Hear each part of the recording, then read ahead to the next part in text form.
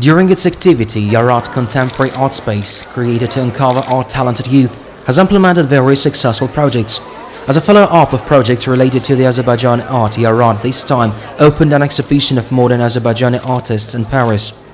Making opening remarks at the inaugural ceremony, Azerbaijan's ambassador to France, Elchin Amirbayov, said the event was organized for the French public to get to know Azerbaijan's rich cultural values better saying president of the Heydar Foundation Mehriban activity to advocate Azerbaijani culture abroad, including in France, caused great interest. The ambassador noted that this exhibition also promoted cross-cultural dialogue.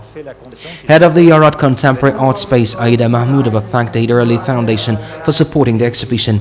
She said the main aim in holding this exhibition was to advocate our youth artists in the world and to increase interest in Azerbaijani culture. It should be noted that the exhibition titled Home Sweet Home featured 90 works by 25 artists of various age. These pieces, being a fruit of various imaginations, reflect all trends of the modern painting. Works by Leyla Aliyeva, Aida Manguleva, Musaiba Mirab, Vugar Muradov, Fidan Saidova, Farid Rasulov and others caused interest of the visitors. The works by our modernist artists created a rich impressions on French audience about our capital's ancient and modern look, our country and people living here.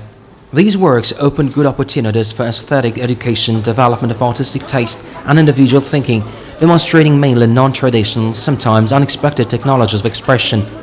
The exhibition attended by French Senate and government officials, senators and deputies, staff of the diplomatic corps accredited in Paris, and diaspora representatives managed to deliver individuality of samples of the Azerbaijani modern art to the Western audience. This week,